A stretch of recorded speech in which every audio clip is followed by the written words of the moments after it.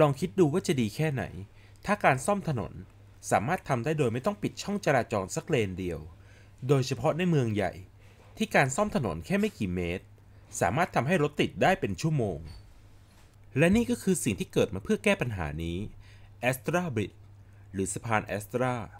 นวัตกรรมที่เกิดจากความร่วมมือระหว่างรัฐบาลสวิตเซอร์แลนด์ และภาคเอกชน สะพานแอสตรามีโครงสร้างส่วนใหญ่เป็นเหล็ก และการนำส่วนประกอบต่างๆ ของสะพานแอสตรามาประกอบที่ไซต์งาน จะใช้เวลาประมาณ 2 วัน เมื่อประกอบเสร็จแล้วสะพานแอสตราจะมีความยาว 257 เมตร กว้าง 7.5 เมตร และสูง 4.65 เมตร ส่วนพื้นที่ทำงานใต้สะพาน จะมีความยาว 100 เมตร กว้าง 5.1 เมตร และสูง 3.1 เมตร รถที่วิ่งข้างบนสะพาน จะต้องใช้ความเร็วไม่เกิน 60 กิโลเมตรต่อชั่วโมง และวิ่งได้ตั้งแต่รถยนต์ รถตู้ ยันรถบรรทุก แล้วความเจ๋งต่อมาก็คือ เมื่องานซ่อมแซมถนนในพื้นที่ใต้สะพานตรงนั้นเสร็จ ตัวสะพานจะถูกปรับระดับสูงขึ้นประมาณ 10 เซนติเมตร ด้วยระบบไฮดรอลิก และเคลื่อนไปข้างหน้าด้วยระบบล้อ ที่แต่ละชุดจะมีมอเตอร์ขับเคลื่อนเป็นของตัวเอง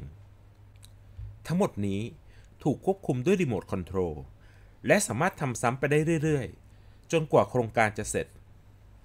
ประโยชน์ของสะพานแอสตรานอกจากเรื่องแก้ไขปัญหาจราจรติดขัด จากการซ่อมแซมถนนแล้ว มันยังสร้างสภาพแวดล้อมการทำงานที่ดีขึ้นให้กับคนงานด้วย เพราะเมื่อไม่ต้องปิดถนน พวกเขาก็สามารถทำงานตอนกลางวันได้ ไม่ต้องเสี่ยงออกมายืนโบกรถ ไม่ต้องอดหลับอดนอน และถึงจะต้องทำงานตอนกลางวัน แต่พวกเขาไม่ได้ต้องทำงานตากแดดตากฝน เพราะพวกเขา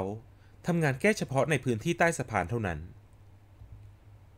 ขณะที่การขุดเจาะหรืองานที่ส่งเสียงดัง ก็ไม่ได้ไปรบกวนเวลาหลับนอนของผู้อยู่อาศัยบริเวณใกล้เคียง สะพานแอสตราถูกนำมาใช้ครั้งแรกในปี 2022 บนถนนเส้น A1 ระหว่างเมืองเลเชอร์สวิลและเมืองลูเทอร์แบช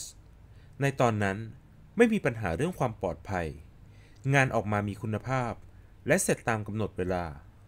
แต่มีปัญหาเล็กน้อย เรื่องความกว้างของช่องวิ่งรถ และความลาดชัน ปัจจุบันสะพานแอสตราได้รับการปรับปรุงใหม่แล้ว